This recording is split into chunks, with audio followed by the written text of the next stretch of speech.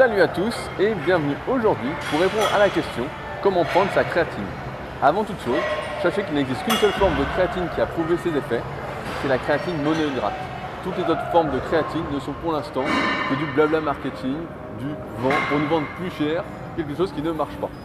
La créatine monohydrate est à prendre à hauteur de 5 grammes par jour, répartie en doses fractionnées suivant le nombre de repas que vous faites. Imaginons que vous fassiez 5 repas par jour, il va falloir prendre 1 g de créatine à chaque repas dilué dans un verre d'eau.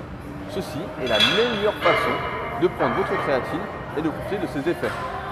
Les notions de cure sont complètement obsolètes, ainsi que la notion de charge qu'il y avait au tout début lorsque la créatine est sortie en vente, sont à oublier définitivement.